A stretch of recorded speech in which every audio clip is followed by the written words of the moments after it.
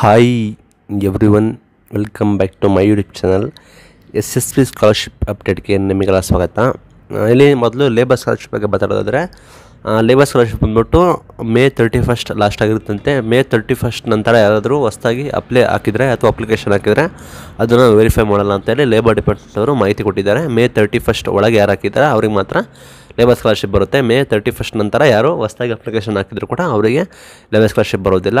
Labour scholarship query ಏನಾದರೂ problem ಇದ್ದರೆ status show ಮಾಡ್ತಿಲ್ಲ ಅಥವಾ ನಿಮ್ದು ಏನಾದರೂ ಪ್ರಾಬ್ಲಮ್ ಇದ್ದರೆ ನೀವು ಎರರ್ ಫಾರ್ಮ್ನ ಫಿಲ್ ಮಾಡಿ ಅಥವಾ ಡಿಪಾರ್ಟ್ಮೆಂಟ್ನ ಕಂಡಕ್ಟ್ ಮಾಡಿ ಅವರು ನಿಮಗೆ ಸೊಲ್ಯೂಷನ್ನ ಕೊಡ್ತಾರೆ.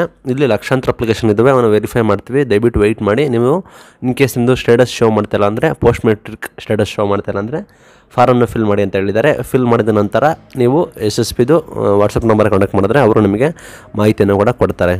ನಂತರ ಇಲ್ಲಿ ಮೇಯ್ನಾಗಿ ನೋಡೋದಾದರೆ ಸ್ಕಾಲರ್ಶಿಪ್ ರಿಜೆಕ್ಟ್ ಆಗೋ ಚಾನ್ಸಸ್ ಇದೆ ಜಾಸ್ತಿ. ಅದು ಯಾಕೆ ಅಂತ ತಿಳಿಸ್ಕೊಡ್ತೀನಿ. ಇಲ್ಲಿ ಕೆಲವೊಂದು ವಿದ್ಯಾರ್ಥಿಗಳಿಗೆ ಇನ್ನೂ ಕೂಡ application verified by taluk officer ಆಗಿರೋದಿಲ್ಲ, ಇನ್ನೂ ನೋ ಇರುತ್ತೆ. ಇಲ್ಲಿ ನಿಮಗೆ ಸಾಕಷ್ಟು ಟೈಮ್ ಆಗಿರೋ ಕಾರಣ, ಆ ಸ್ಕಾಲರ್ಶಿಪ್ ಬಂದ್ಬಿಟ್ಟು ಸುಮಾರು ಜನಕ್ಕೆ ಕ್ರೆಡಿಟ್ ಆಗಿದೆ. ಅದಕ್ಕೋಸ್ಕರ ನಿಮ್ಮದು ಇನ್ನೂ ತಾಲೂಕು ಆಫೀಸ್ ವೆರಿಫಿಕೇಷನ್ ಆಗಿಲ್ಲ ಅಂದರೆ ದಯವಿಟ್ಟು ತಾಲೂಕು ಆಫೀಸ್ ಹೋಗಿ ಅಪ್ರೋಚ್ ಮಾಡಿ ಒಂದು ಪರ್ಟಿಕ್ಯುಲರ್ ರೀಸನಿಂದ ನಮಗೆ ತಾಲೂಕು ಆಫೀಸರ್ ವೆರಿಫಿಕೇಷನ್ ಆಗಿರೋದಿಲ್ಲ. ತಾಲೂಕು ಆಫೀಸ್ಗೆ ಹೋದ್ರೆ ನಮಗೆ ಹೇಳ್ತಾರೆ, ಯಾಕೆ ನಿಮ್ಮದು ವೆರಿಫೈ ಆಗಿಲ್ಲ ಅಂತ. ನಂತರ ವೆರಿಫೈ ಮಾಡಿಸ್ಕೊಳ್ಳಿ. ಇಲ್ಲಾಂದರೆ ನಮ್ಮದು ಸ್ಕಾಲರ್ಶಿಪ್ ಬರೋದಿಲ್ಲ ತಾಲೂಕು ಆಫೀಸ್ ವೆರಿಫಿಕೇಷನ್ ಆಗಿಲ್ಲ ಅಂದರೆ ಇಂಡೈರೆಕ್ಟಾಗಿ ರಿಜೆಕ್ಟ್ ಆಗಿದೆ ಅಂತ ಅರ್ಥ ಹೇಳ್ತೀನಿ. ನಂತರ name as in Aadhaar matches ಬಂದ್ಬಿಟ್ಟು ನಿಮ್ಮದು ಆಧಾರ್ ಸ್ಟೇಟಸ್ಸು ಕರೆಕ್ಟಾಗಿ ಇರಬೇಕು. ನಿಮ್ಮದು ಆಧಾರ್ದು ಡೀಟೇಲ್ಸ್ ಎಲ್ಲ ಕರೆಕ್ಟಾಗಿ ಫೆಚ್ ಆಗಿರಬೇಕು. In case name as in match in Aadhaar ಬಂದ್ಬಿಟ್ಟು ಪ್ರಾಬ್ಲಮ್ ಇದ್ದರೆ ಕೂಡ ನೀವು ಅದನ್ನು ಸರಿಪಡಿಸ್ಕೊಂಡು ಬಂದ್ಬಿಟ್ಟು ಅಲ್ಲಿ ಮ್, ಸರಿಪಡಿಸಿದ ನಂತರ ಇಲ್ಲಿ ನೀವು ಅಪ್ಡೇಟ್ ಮಾಡಬೇಕಾಗುತ್ತೆ. ಇಲ್ಲಿ ಅಂದರೆ ನಿಮ್ಗೆ ಗೊತ್ತಿರೋ ಪ್ರಕಾರ ಇಲ್ಲ ಇದೆ ನೋಡಿ. Update name as in other ಅಂತ ಇರುತ್ತಲ್ಲ ಅಲ್ಲಿ ನೀವು ಅಪ್ಡೇಟ್ ಮಾಡಬೇಕಾಗುತ್ತೆ. ಅಲ್ಲಿ ನೀವು ಫಸ್ಟ್ ಕರೆಕ್ಷನ್ ಮಾಡಿಸ್ಕೊ ಬಂದ ನಂತರ ಇಲ್ಲಿ ಅಪ್ಡೇಟ್ ಮಾಡಬೇಕಾಗುತ್ತೆ. ಇನ್ ಕೇಸ್ ನೀವು ಏನು ಕರೆಕ್ಷನ್ ಮಾಡೋದಲ್ಲ, ಇಲ್ಲಿ ಅಪ್ಡೇಟ್ ಮಾಡಿದ್ರೆ ಅದು ವೆರಿಫೈ ಆಗೋದಿಲ್ಲ. ಅಲ್ಲಿ ಗೊತ್ತಾಗುತ್ತೆ ಫೆಚ್ ಆಗುತ್ತೆ. ಅದಕ್ಕೋಸ್ಕರ ನಿಮ್ಮದು ಏನಾದರೂ ಆಧಾರ್ದು ಏನಾದ್ರು ಪ್ರಾಬ್ಲಮ್ ಇದ್ದರೆ ಅದನ್ನು ವೆರಿಫೈ ಮಾಡಿಸ್ಕೊಳ್ಳಿ. ನಂತರ ಇಲ್ಲಿ ಕಂಪ್ಲೇಂಟ್ ಸ್ಟೇಟಸ್ ಅಂತ ಇರುತ್ತೆ. ನೀವು ಇನ್ ಕೇಸ್ ಏನಾದರೂ ಕಂಪ್ಲೇಂಟ್ ಮಾಡಿದರೆ, ಏನಾದರೂ ನಿಮ್ಮದು ಸ್ಕಾಲರ್ಶಿಪ್ ರಿಲೇಟೆಡ್ ಕಂಪ್ಲೇಂಟ್ ಮಾಡಿದ್ರೆ ಅದು ಸ್ಟೇಟಸ್ ತೋರಿಸ್ತದೆ ನಿಮ್ಮದು ಕಂಪ್ಲೇಂಟ್ ಎಲ್ಲಿಗೆ ಬಂತು, ಏನು ನಡೀತಿದೆ ಅಂತ ಸ್ಟೇಟಸ್ ಶೋಡ ನೋಡ್ಬೋದು. ಇಲ್ಲಿ ನಿಮಗೆ ಕಂಪ್ಲೀಟ್ ಕಂಪ್ಲೀಟ್ ರಿಜಿಸ್ಟ್ರೇಷನ್ ಅಂತ ಇರುತ್ತಲ್ಲ, ಅಲ್ಲಿ ನೀವು ನಿಮ್ಮ ಕಂಪ್ಲೇಂಟ್ ಏನಾದರೂ ಪ್ರಾಬ್ಲಮ್ ಇದೆ ನಿಮಗೆ ಪರ್ಟಿಕ್ಯುಲರಲ್ಲಿ ಯಾವ ಸ್ಕಾಲರ್ಶಿಪ್ ಪ್ರಾಬ್ಲಮ್ ಇದೆ, ಏನು ಪ್ರಾಬ್ಲಮ್ ಇದೆ ಅದರದ್ದು ಮತ್ತು ಅಮೌಂಟ್ ಬಂದಿಲ್ವ ಅವನ್ನೆಲ್ಲ ಇಲ್ಲಿ ರಿಜಿಸ್ಟರ್ ಕೂಡ ಮಾಡ್ಬೋದು. ಇಲ್ಲ ಫ್ರೀ ಶಿಪ್ ಕಾರ್ಡ್ ಬಂದ್ಬಿಟ್ಟು ಎಸ್ ಟಿ ಅಭ್ಯರ್ಥಿಗಳಿಗೆ ಓಕೆ ಫ್ರೀ ಶಿಪ್ ಕಾರ್ಡ್ನ ಪಡ್ಕೊಂಡಿರ್ತೀರ ಅನ್ಕೋತೀನಿ.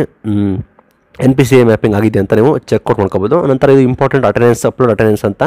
ಇಲ್ಲಿ ಎಲ್ಲ ವಿದ್ಯಾರ್ಥಿಗಳಿಗೆ ಶೋ ಮಾಡ್ತಿತ್ತು ನಿಮ್ಮದು ಅಟೆಂಡೆನ್ಸ್ ಡೀಟೇಲ್ಸ್ನ ಅಪ್ಲೋಡ್ ಅಪ್ಲೋಡ್ ಮಾಡಿ ಅಂತ ಅವರು ಮಾಡೋಕ್ಕಾಗುತ್ತೆ. ನಿಮಗೆ ಸ್ಕಾಲರ್ಶಿಪ್ ಬರೋ ಕಾರಣ, ಹದಿನೈದು ಸಾವಿರ ಎಕ್ಸ್ಟ್ರಾ ಬರೋ ಕಾರಣ ಅಪ್ಲೋಡ್ ಅಟೆಂಡೆನ್ಸ್ನ ಕಂಪಲ್ಸರಿ ಮಾಡಬೇಕಾಗುತ್ತೆ. ಇದು ನಿಮ್ಮದು ಸ್ಟೇಟಸ್ ಅಥವಾ ನಿಮ್ಮದು ಬೋರ್ಡಲ್ಲಿ ನಿಮಗೆ ಅಪ್ಲೋಡ್ ಅಟೆಂಡೆನ್ಸ್ ಡೀಟೇಲ್ಸ್ ಅಂತ ತೋರಿಸ್ತಾರೆ ಮಾತ್ರ ನೀವು ಅಪ್ಲೋಡ್ ಮಾಡೋಕ್ಕಾಗುತ್ತೆ ಇಲ್ಲಿ ಈ ಕಳೆದ ನೋಡಿ, ಇಲ್ಲಿ ಆ್ಯಸ್ ಯೂಶುವಲ್ ಮಾಮೂಲಿ ತೋರಿಸುತ್ತೆ.